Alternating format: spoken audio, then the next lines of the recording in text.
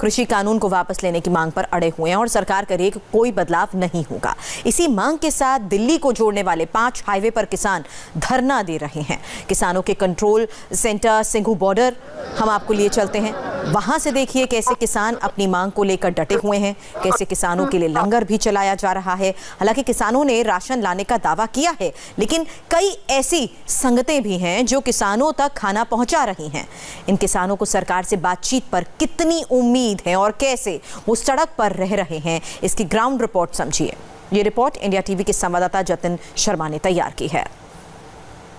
दिल्ली के सिंगू बॉर्डर पर किसानों का प्रदर्शन लगातार जारी है। किसान सिंगू बॉर्डर पर अपना प्रदर्शन पिछले आठ दिनों से कर रहे हैं और अंधेरा होने के बाद की आप तस्वीर यहाँ पर देखेंगे कि दिल्ली की संगतों द्वारा जो सामान यहाँ पर भेजा जा रहा है, उसी को लंगर के तौर पर जो किसान प्रदर्शनकारी है, उनको यहाँ पर जो लंगर है वो चखाया जा रहा है। आठवां दिन है आज और किसानों को खाने पीने की कोई कमी ना हो, इसको लेकर दिल्ली की संगत बढ़ चढ़ कर आगे आ रही है और हर किसी को जो सेवा करनी है, वो यहाँ पर आकर सेवा कर रहा है और उसके बाद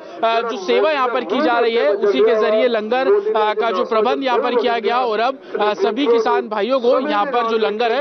वो परोसा जा रहा है। किसानों का साफ़ तौर पर यही कहना है कि जब तक उनकी मांगे नहीं मानी जाएँगी, जो तीनों कानून है, कृषि कानून, उसको रद्द नहीं किया जाएगा, तब तक इसी तरीके से दिल्ली के बॉर्डर्स का गिराव जारी रहेगा। साथ ही प्रदर्शन लगातार किसान करते रहेंगे, लेकिन जिस तरीके से दिल्ली की संगत सामने आ रही है सेवा कर रही है उसका असर यहाँ पर देखने को मिल रहा है जो किसान भाई है उनको यहाँ पर लंगर दिया जा रहा है उन लोगों से हम बात करते हैं जो लंगर यहाँ पर दिया जा रहा है जो दिल्ली की संगत है उनके द्वारा सेवा की जा रही है हाँ जी दिल्ली की संगत सेवा की जा रही है दिल्ली संगत बहुत ਅਸੀਂ ਧੰਨਵਾਦੀ ਹਾਂ ਜਿਨ੍ਹਾਂ ਨੇ ਬਹੁਤ ਲੰਗਰ ਪਾਣੀ ਦਾ ਪ੍ਰਬੰਧ ਕੀਤਾ ਟਰਾਲੀਆਂ ਵੀ ਭਰੀਆਂ ਪਈਆਂ ਸਾਡੇ ਕੋਲ ਭਾਵੇਂ 6 ਮਹੀਨੇ ਲੰਘ ਜਾਣ ਸਾਨੂੰ कोई दिल की चिंता नहीं है अभी तक आप लोगों ने अपना राशन इस्तेमाल नहीं किया है जो संगतों द्वारा सेवा की जा रही है नहीं नहीं अभी नहीं किया तो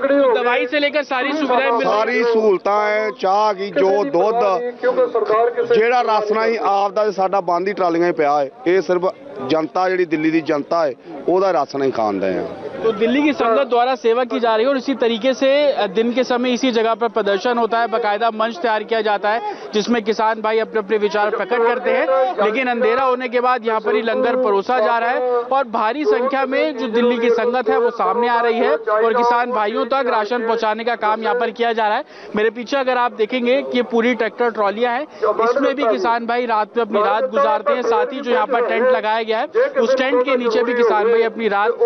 यहाँ पर बिताते हैं तो अपनी तरफ़ से किसान भाइयों का साफ़ तौर पर यही कहना है कि जब तक उनकी मांगे नहीं मानी जाएँगी, तब तक दिल्ली के बॉर्डर्स पर इसी तरीके से किसानों का प्रदर्शन जारी रहेगा। कैमरामैन अनुज के साथ अतुल शर्मा इंडिया टीवी दिल्ली। जल्द लौटेंगे। आगे देखिए हमारा स्पेशल शो फकीर आसम